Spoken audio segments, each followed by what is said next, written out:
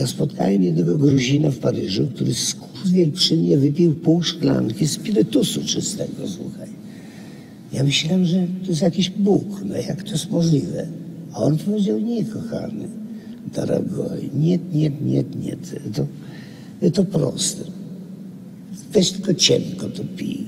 Słuchaj, ja wziąłem kiedyś rzeczy, zrób tak i cieniutko, cieniutko i znowu zrób tak.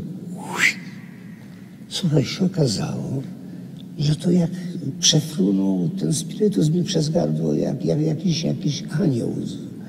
Ale co nie oznacza, że do, do tego przystąpiłem. Nie, no bo spirytus nie jest do pisania.